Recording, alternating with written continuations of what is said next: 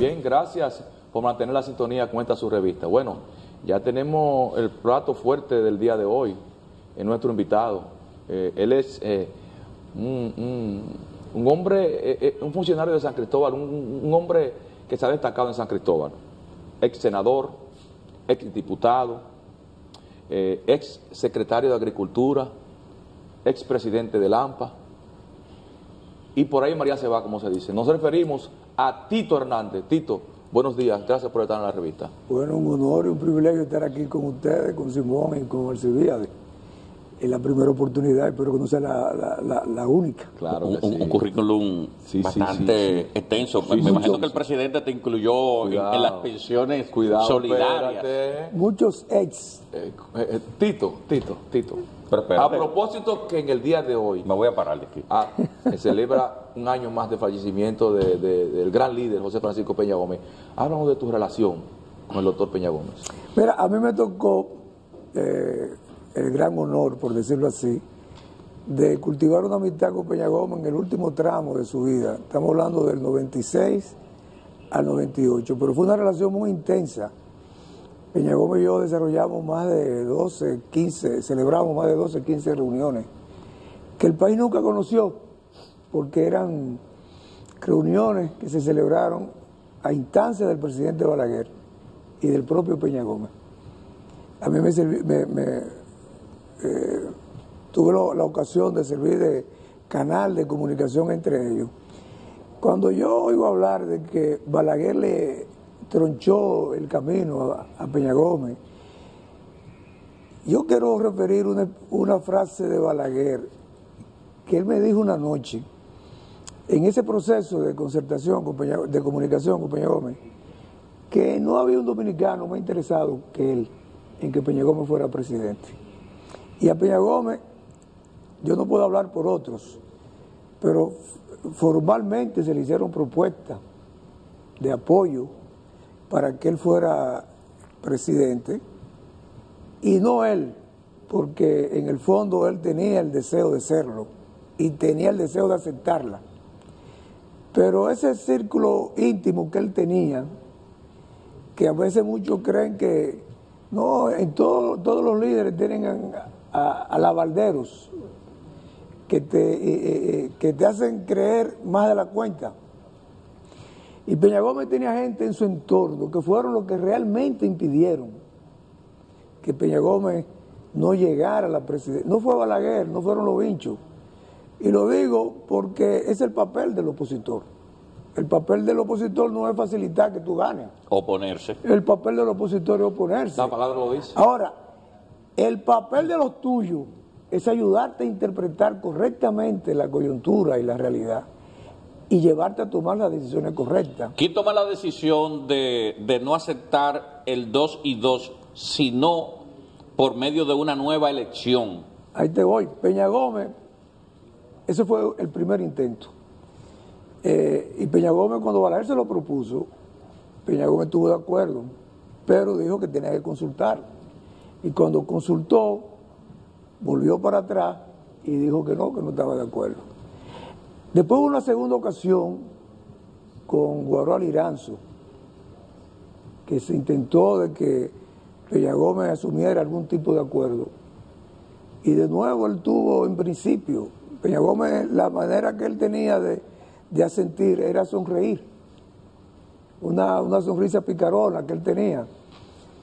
Y lo aceptó, pero cuando fue a consultar de nuevo, vino con una posición contraria. Y finalmente conmigo, bueno, el hecho más evidente de que estuve de acuerdo es que nos reunimos más de 12, 15 veces en, en- en dos años. ¿Y qué pasó? Bueno, gente cercana, uno que le decían que él era el cuarto patriota de la República, eran el quinto, eran Duarte, Sánchez, Mella, Luperón y Peña Gómez. Entre- entre- eh, de ese círculo, Habían historiadores, claro, había un historiador que fue de los que más influía en él, que ya, ya, ya no está vivo. Hay otros que están vivos, pero y hay otros que ¿quiénes le hicieron daño a Peña Gómez con, eh, en, en- en ese entonces con relación a esas malas decisiones? Bueno, algunos ya están muertos, yo no, no me corresponde a mí eh, decirlo, pero yo Pero sí puedo historia, decir, Tito. yo sí puedo decir desde la perspectiva ¿verdad? De, de Balaguer, que no fue Balaguer quien tronchó el camino. O sea, Balaguer no estuvo en contra No, de que Peña Gómez fuera no fue- presidente no, de la. República. Que eso es lo que se De dice. hecho, déjame decirte algo, Balaguer creía que Peña Gómez era una represa social y era un equilibrio social para la República Do- Dominicana. O sea, sin Peña Gómez, este país hubiese eh, caído en una guerra civil. Pero de ser así, claros. de- de- Tito, Entonces, sin si- Balaguer entendía que Peña Gómez era un, era un componente fundamental del equilibrio democrático de la República Dominicana. pero el Frente Patriótico indicó todo lo contrario. Bueno, pero eh, eh, vuelvo y te repito, el papel de Balaguer no era prohijar una candidatura de Peña Gómez, Porque eran opositores. porque eran opositores. Como Peña Gómez no, no prohijaba la candidatura de Balaguer. Ahora, de que en, en una coyuntura y un momento determinado se dieran circunstancias como, como las del 96, que ya Balaguer no era candidato, y que Balaguer entendiera, como me dijo a mí una noche, eh, yo quisiera que él fuera presidente, para que él mismo se dé cuenta que muchas de las cosas que él propone no las puede hacer y que el país se dé cuenta de ello. Y yo creo que él podrá ser un buen presidente, pero muchas de las cosas que él propone, decía Balaguer en, la intimidad, eh, él no la va a poder eh, materializar. Entonces yo creo que con esto estoy tratando de hacer un aporte a la verdad histórica. O sea, no, no ayuda a la, a, a la memoria histórica y, y- y a- y al, al recuerdo histórico de Peña Gómez seguir insistiendo en un elemento que no es cierto. O sea, ni a Balaguer ni a Bosch le correspondía facilitar o, o, o prohijar que Peña Gómez fuera presidente, porque eran opositores. Como a Balaguer no le, no, no le correspondía hacerlo con Bosch ni vos con Balaguer. Ahora, pero la coyuntura política es la que determina qué es lo que hay que hacer. Cuando esa coyuntura determinaba que era favorable a Peña Gómez, gente de su entorno, del propio PER, ¿y dónde está la respuesta en, en- en términos históricos? El PRD fue, fue gobierno en el 78. ¿Tú sabes desde cuándo Peña Gómez e- era líder del PRD? Peña Gómez asumió la Secretaría General del PRD en el 66, en octubre del 66, como un reconocimiento a su papel jugado en la Revolución de Abril. Desde el 66 ya Peña Gómez se perfilaba como el líder del PRD. Y el PRD no llegó en el poder en el 78. ¿Por qué, no, por qué el PRD no lo llevó de candidato al 78? Y el PRD no ganó en el 82. ¿Por qué el PRD no lo llevó de candidato en el 82? Cuando ganó, cuando tenían posibilidad de ganar, ¿por qué no lo llevaron? Su propio partido, Bueno. su propia gente. Tito, No, no era Balaguer que le correspondía llevarlo por el Partido Reformista, ni a los vinchos, que yo no tengo que venir aquí a defender los vinchos.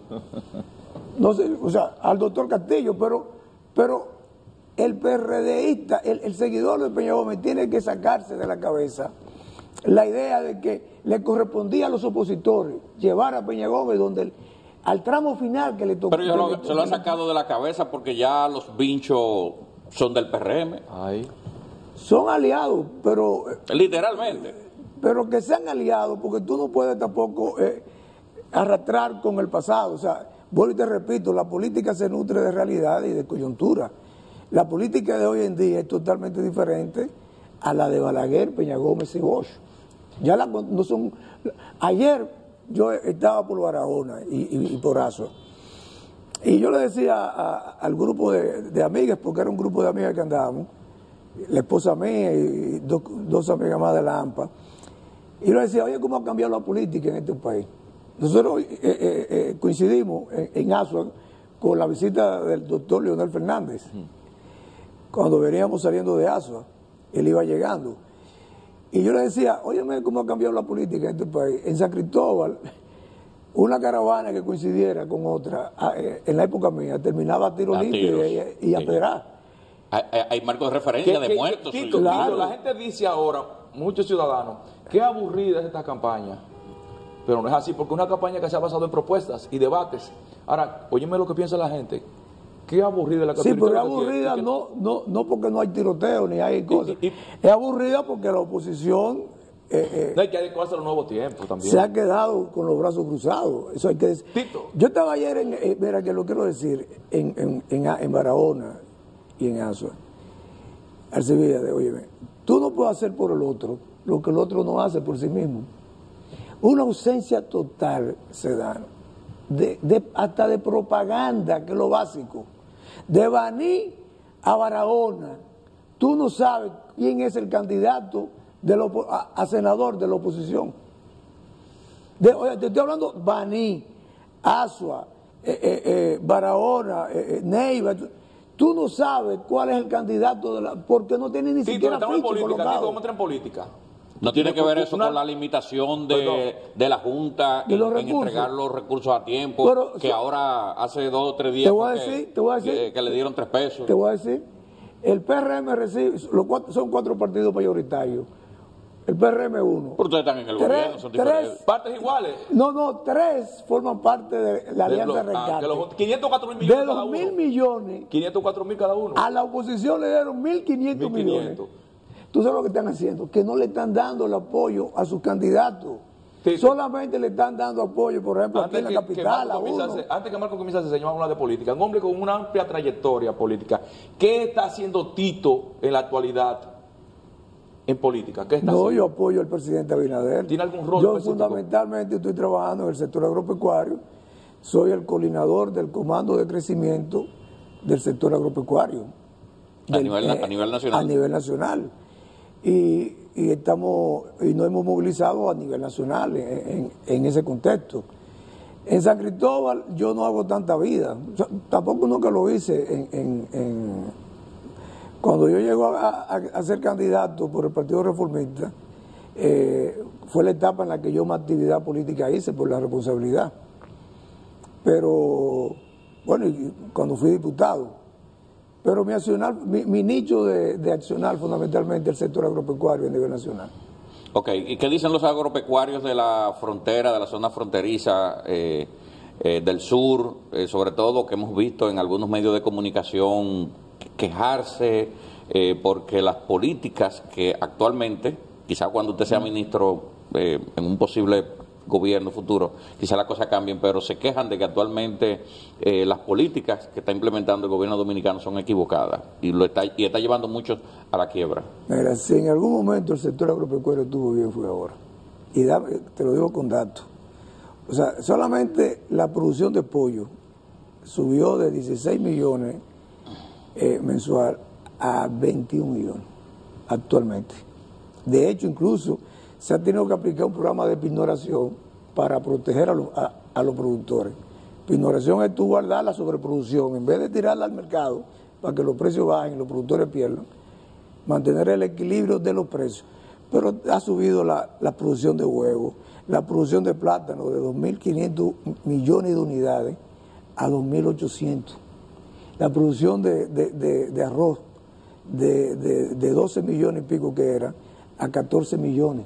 Pero eso que usted dice no se transfiere en los precios del consumidor, si se están quejando de que Bueno, los plátanos, la batata, la El yautía, todo está caro. El propio Banco Central en su último informe acaba de decir que ha habido una disminución de la inflación en el país en los últimos tres meses, en los primeros tres meses del año, como consecuencia fundamentalmente de la disminución de los precios de los productos de primera necesidad. O sea, los productos de, origen agropecuario Y si usted entiende que están baratos. son los que han producido una baja de la inflación en el país. Perdón, Tito, pero, pero yo quiero que usted le diga a ese público, si usted entiende que esos productos agropecuarios le llegan barato a la gente, En este momento le está llegando barato. No te estoy diciendo más barato que hace cinco años.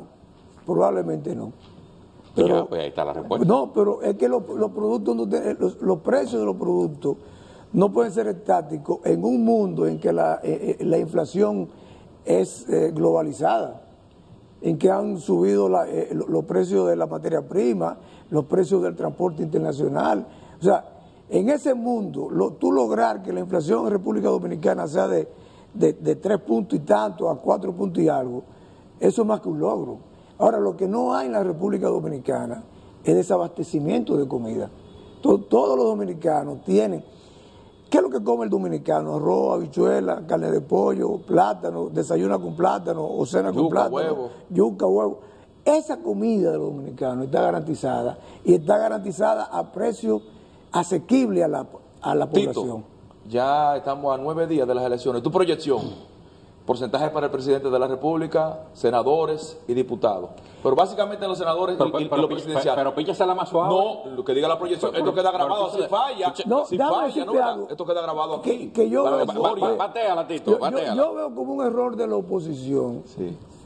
querer como satanizar eh, que, que el presidente pueda sacar un 65 o un 70 y que eh, alcance toda la senaduría. Y tú vas a decir por qué. Porque históricamente, por Hipólito sacó 29 de 30 senadores. ¿Cuánto va a sacar el, PRM? Eh, Leonel sacó igual, Danilo sacó igual. ¿Cuánto va a sacar el PRM? Luis puede sacar los 32 senadores. Ay. Pero ven acá. ¿Y el porcentaje del presidente? Déjame decirte algo. ¿Hay Es que- posibilidad de que saquen los 32 senadores? Claro que sí. Y el presidente puede. Te voy a decir la razón fundamental. No, y, Presidente- también va- y me imagino que también va a sacar todos los No, diputados. No, doctor. todos no, pero, no, claro. Pero sí No, te pero- voy a pero- decir algo. Eh, el último día es fundamental. La oposición, ¿qué pasó en febrero? Que no dio el dinero de, Ay. de los delegados Ay. porque pensaba que iba a perder. Y que Pero, lo perdió. pero a- Ay, a- ¿y ahora, ahora? Y ahora- a- a- ahora lo van a un dar. candidato a senador que sepa que no gane Ay. va a sacar 5 millones de pesos el último día mira, Tito. para gastarlo. Un mensaje a, los dominicanos. No que acudan masivamente a votar, que no se den intimidar por nadie, que esto es una fiesta de la democracia y que vote por el presidente Abinader que tiene el triunfo asegurado. No, no desperdicie su voto, vote por el que va a ganar.